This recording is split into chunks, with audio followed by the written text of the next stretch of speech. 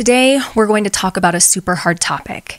It is something that I encounter with my patients on almost a daily basis, and it's the thing that brings most people to tears when they share their stories with me. If you find yourself identifying with this video, please remember that you are not alone and help is out there. We'll get deeply into this topic, but first remember if you like this video and you find it insightful and helpful, please like it, subscribe to my channel, and follow along with all things pregnancy and women's health in the future.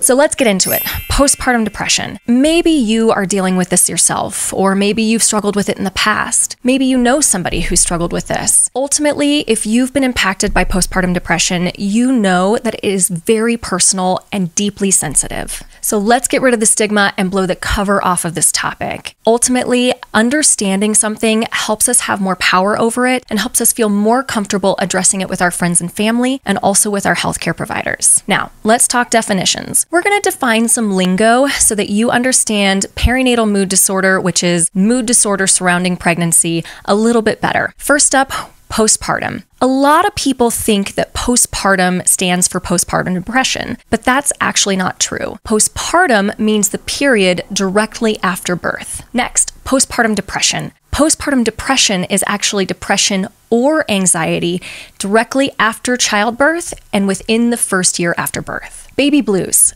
This can be feelings of sadness, anxiety, or anger. It starts immediately after giving birth and lasts for only about two weeks. Postpartum psychosis.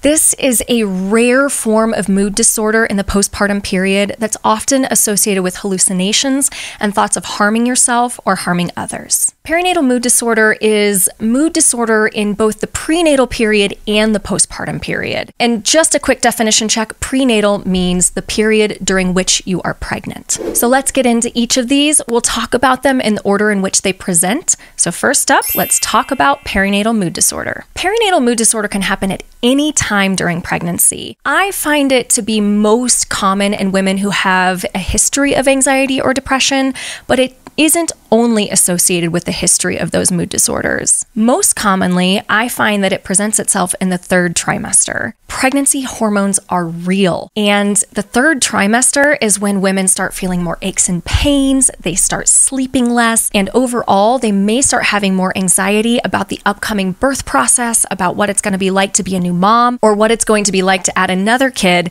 to their already growing family. Honestly, it's all just a lot for a lot of people, and if somebody doesn't cry in my office at least once a day, especially if they're after 36 weeks pregnant, I find my day to be not normal. Having perinatal mood disorder is a big risk factor for having postpartum depression. And a lot of women think, well, maybe I won't deal with this during pregnancy, but I will just hope that it will go away once my baby is born. Unfortunately, that's the exact opposite of what happens for most women. So, if you are struggling with feelings of anxiety or depression during pregnancy, please address it with your healthcare provider sooner rather than later so that you feel like you have it addressed before your baby is born. Speaking of babies coming, let's get into baby blues next. Baby blues is weird and it's also fleeting. So, before you get pregnant, your ovaries are producing the majority of your hormones. And then when you get pregnant, your placenta takes over and makes most of your hormones. Fast forward to the birth, you deliver your baby, and then comes the placenta and a huge drop off in hormones. It takes about two weeks for your ovaries to start taking over again. And during that time, you may feel weird. You're laughing one minute, you're crying the next minute. You have no idea why you're doing either one of them. Ultimately, this can all be really normal unless you're having those feelings of sadness the majority of the time. Postpartum depression is when those feelings of depression, anxiety, or yes, even anger are the predominant feelings you're having. If you're struggling to want to get out of bed in the morning, if you aren't feeling particularly bonded to your baby, if you are crying all the time or having anxious thoughts that are just going over and over in your head and you can't stop thinking about bad things that are happening, or maybe you're even snapping at your partner or your other kids a lot. These can all be forms of postpartum depression and a reason to seek help. Occasionally having these feelings is normal, but having them more than 50% of the time, it's common, but it's not normal. And there's a big difference there. A lot of women struggle with their mood during pregnancy and in the postpartum period. And while that happens to a lot of women,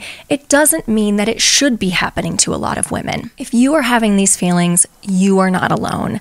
And I encourage you to seek help as soon as as you can. I can't tell you how many women come into my office on a daily basis and say, I had postpartum depression with my first baby, but I didn't address it and I wish that I had. And now they're on their second pregnancy or just had their second baby and they ask for help. They didn't give themselves permission to ask for it the first time.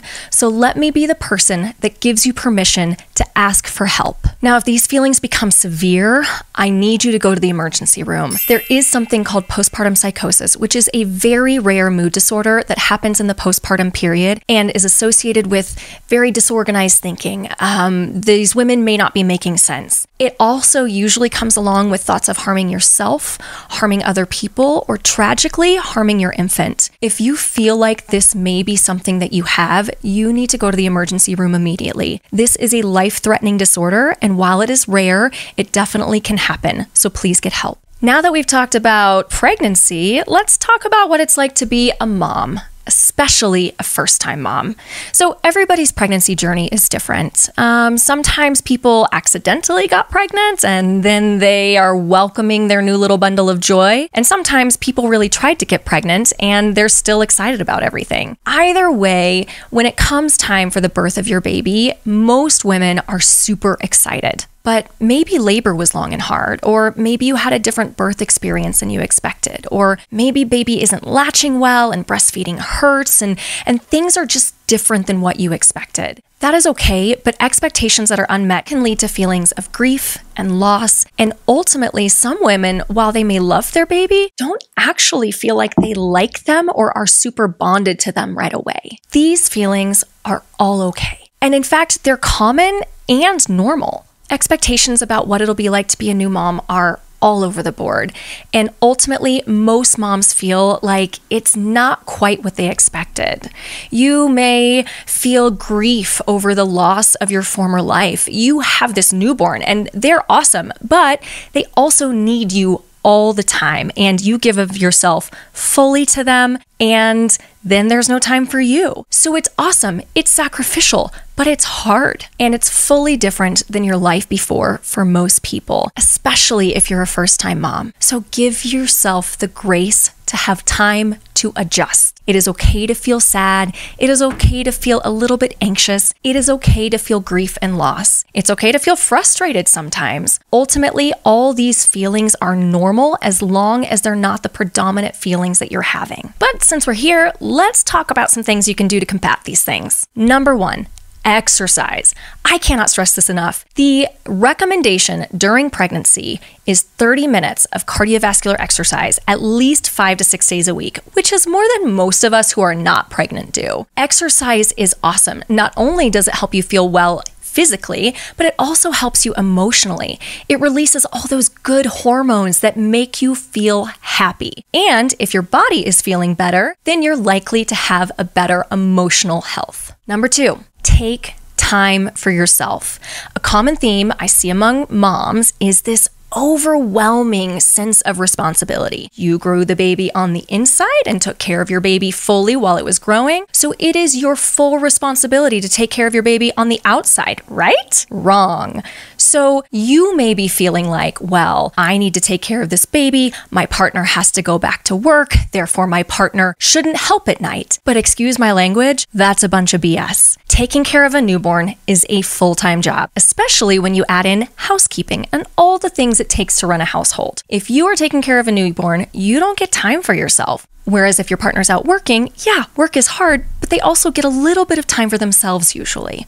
And don't get me wrong, I'm most of the time not blaming partners for this. Usually, it's the women who feel like they need to do it all, and so they don't let their partners help them, even if their partners want to help them. So, if you're one of those women out there who's nodding along and thinking, oh, yeah, that's totally me, cut it out. Take time for yourself. Let your partner help you. You need it, your family needs it, and so take a little time every day or at least a couple of times a week to do something for you. It will help your mood immensely, and hey, maybe you even want to take the time to like exercise. Number three, talk to a therapist. Therapy can be super helpful for mood disorder, especially if it's on the more mild side. It's usually the first line in helping people feel better. Unfortunately, therapy can be expensive, it can be hard to find a therapist, and so a lot of people don't make the time and effort to do that. But I promise you, most of the time it's worth it. And hey, talk to your healthcare provider about it because they may have resources for you and may be able to refer you, which takes the legwork out of it. You may also want to try some supplements. Omega 3 fatty acids from a high quality fish oil can be helpful, vitamin D can be helpful, magnesium is helpful for all kinds of things in pregnancy, but it's definitely helpful for mood disorder as well. I find that a lot of women like the Calm supplement before bed at night. And then there's a supplement called Rescue Remedy, and it's an herbal supplement that's safe during pregnancy and breastfeeding, and it can be really helpful for in the moment anxiety. So there's a lot of different forms of it, but if you take it while you're feeling anxious, it can help produce feelings of calm. There are also medications out there that are considered safe for both pregnancy and breastfeeding. So if you and your healthcare provider feel that it is severe enough to need medication, they may discuss this with you, although we won't go over those in this video. One more time,